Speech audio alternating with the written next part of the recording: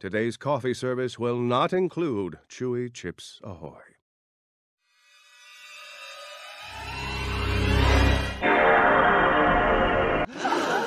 Hey, Stewie said his first word.